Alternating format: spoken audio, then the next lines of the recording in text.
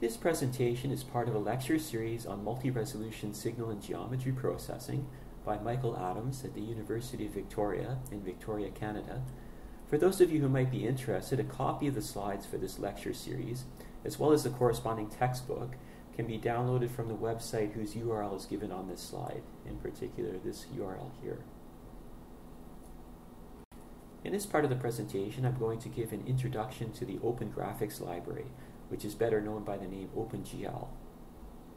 So what exactly is OpenGL?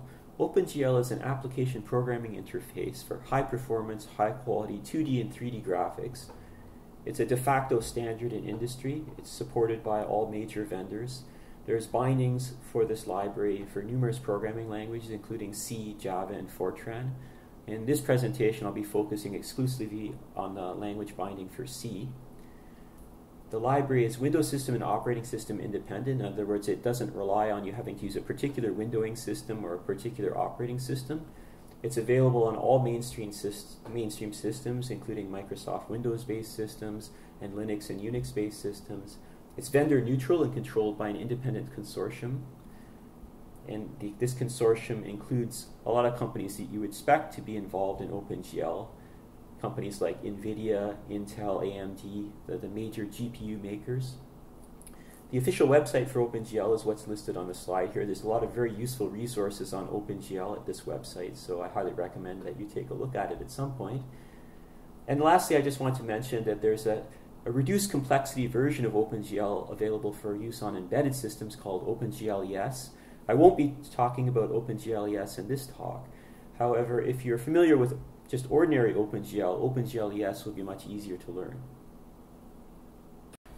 OpenGL is a fairly large library. It's comprised of several hundred functions, and it supports a number of very basic geometric primitives, including points, lines, polygons, images, and bitmaps.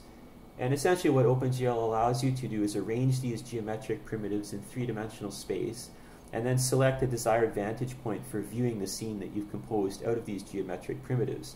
It takes care of a lot of the issues associated with rendering, like calculating the colors of objects, either by explicit assignment or through lighting calculations or through texture mapping or some combination of these things. It converts the mathematical description of the objects to pixels on the screen. In other words, it takes care of rasterization.